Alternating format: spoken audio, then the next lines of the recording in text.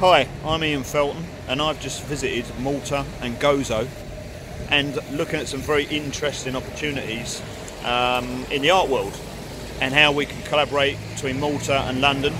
And uh, my good friend Claude Camilleri, who has been wonderful in showing us around uh, this particular island and location. Watch this space for more updates.